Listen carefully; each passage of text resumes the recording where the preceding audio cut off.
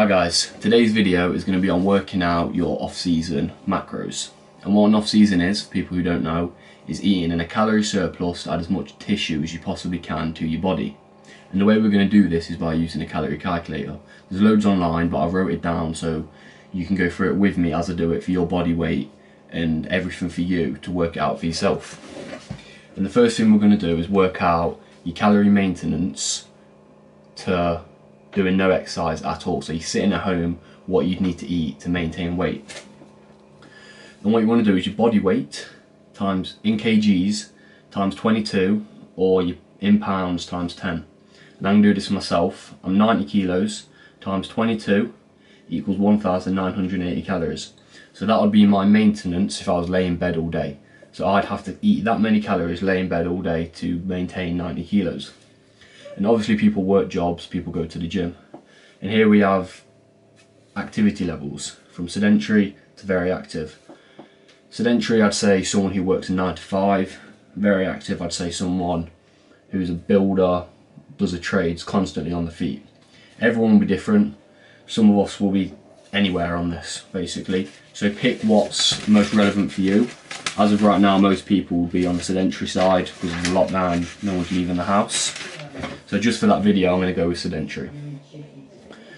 So 1980 times 1.3 to 1.6, and that'll give us a range here. 2,574 to 3,168. Now this is your maintenance calories whilst working your job and training. So what you want to do now is add a surplus. What, what the surplus I'm going to add 300. Anywhere between 200 and 300 is alright, I wouldn't go any higher than 300. So now we have 2,874 to 3,468. And if you're a beginner, I'd definitely start at the lower end. And when, when I say beginner, I don't mean new to training, I mean new to eating, because a lot of people train but don't eat properly. And the last thing you want to do is jump straight in on 400 grams of carbs, 200 grams of protein, 80 grams of fat, just for example, because your digestive system will just shut down. You will not be able to stomach the food, you'll have cramps, and it just won't be nice at all. So I'd definitely start at the lower end if you're new to this. And now we're going to break it down into fats and proteins. So protein, 2 gram per kg. So for me, 180 grams of protein a day. And now there's 4 calories per gram of protein. So you times it by 4 and that's 720 calories of protein. Fat. 1 gram of fat per kilo of lean body mass. And what I mean by that is just lean muscle, not the fat at all. So you need to know your body fat or have a rough average of what your body fat is. And I'm about 20%. So 20% of 90 is 18. 90 take away 18 is 72. So I'm going to be eating 72 grams of fat a day. 72 times 9, because there's 9 calories per gram of fat, is 648. So we have 720 calories from protein, 648 from fat.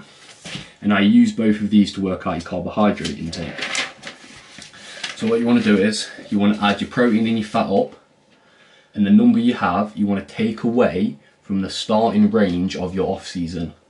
And obviously if you started at the higher end, just because you wanted to, you'd obviously take it off the higher end. So, for me, 2,874 minus 1,368 is 1,506. And after every carb, there's 4 calories per gram. But instead of times in it this time, you want to divide. So 1,506 divided by 4 equals 376. And that's it, that, that's my macros done. It's simple, there's no need to overcomplicate it. So 180 protein, 376 carbs and 72 fats.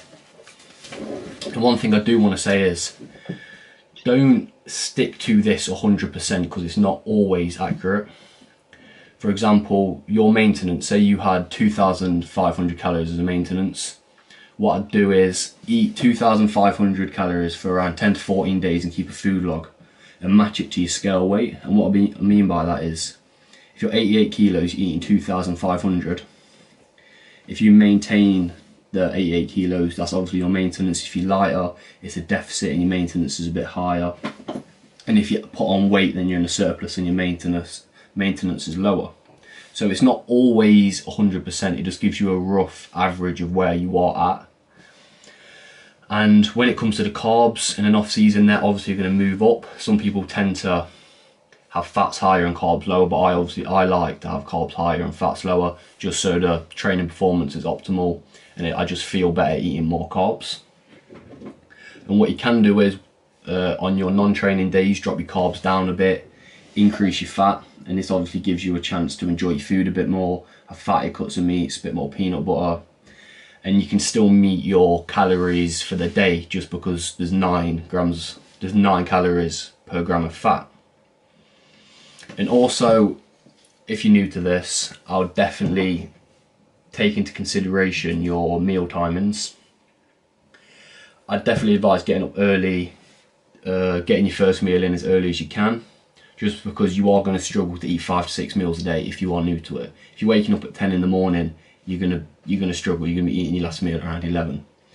And what I definitely do if you're a beginner is try and do some form of cardio before your first meal or just after a meal, only light, just a walk, just to get your digestive system going, just so you feel better as a whole.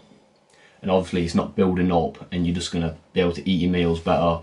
Your training will be better, and it's just gonna allow you to relax a bit more with it. You're not gonna have to force feed as much. The better your digestive system, the better everything's gonna be and yeah, basically that's it. That is the off-season macros done. Like I say, you will need to work around this a bit if you are losing weight or putting on weight because it's not 100%. So definitely keep a food log if you are new and slowly work